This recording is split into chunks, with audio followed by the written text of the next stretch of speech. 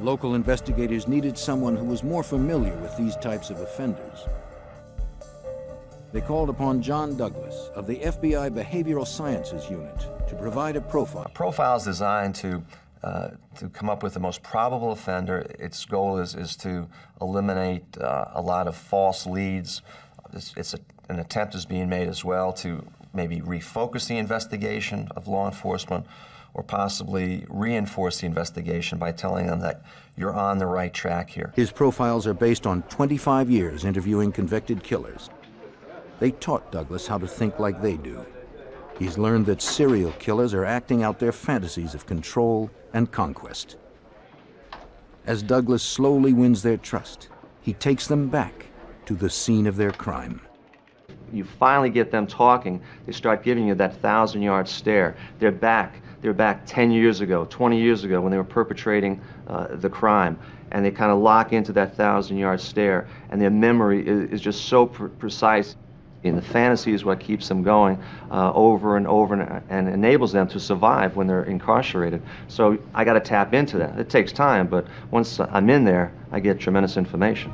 Douglas and others cataloged and categorized their findings, creating a statistical database from which profilers can draw inferences about criminals based on patterns of behavior. I'm very much like a, a, a, doctorate in medicine where I'm trying to come up with a diagnosis. And I'm going to rely on the thousands of cases that I've worked. I'm going to rely on the hundreds and hundreds of, of, of interviews of offenders who committed similar types of crimes. You just want to see if you can come up with an analysis based upon preliminary police reports, crime scene photographs, a profile of the, uh, the victim, autopsy protocol, reviewing that, re review the autopsy photographs, do a an analysis of the overall crime, the risk level that the subject took, uh, the victim risk level, analysis of the, the area, the, the, maybe the crime scene, maybe you have multiple crime scenes. Have to walk in the shoes of both the subject and walk in the shoes of that victim to truly understand really what took place during that assault. I'm going to be asking myself the question, why? Why this, this victim? Douglas needed to probe further. He had to meticulously recreate each murder from the known evidence. Reviewing all six attacks, the profiler looked for behavioral characteristics that could be ascribed to just one offender. When someone asks for a profile, what they're looking for are characteristics, which includes um, gender, uh, uh, includes age, race, sometimes uh, body typing, uh, educational level, occupational uh, type.